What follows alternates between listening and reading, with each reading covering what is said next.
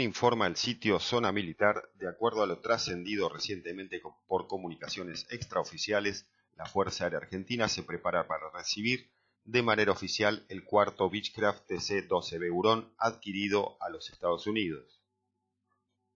La aeronave llegó en horas de la madrugada al área material Río Cuarto, provincia de Córdoba, donde comenzará su puesta a punto final con su nuevo esquema de pintura gris.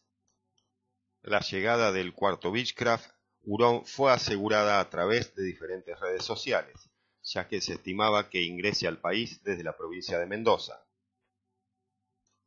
La aeronave arribó al país en su esquema de pintura original ex Navi, portando la matrícula TC-114.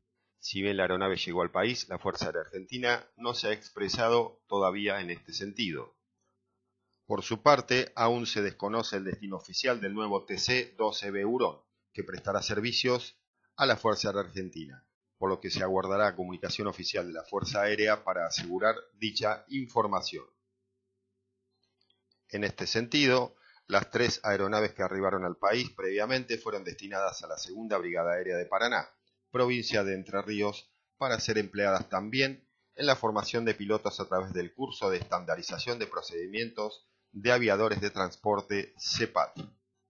Cabe recordar que según lo informado por el jefe del Estado Mayor de la Fuerza Aérea Argentina, el brigadier Xavier Julián Isaac, el objetivo es incorporar una totalidad de dos aeronaves a la fuerza para tareas de transporte liviano y enlace.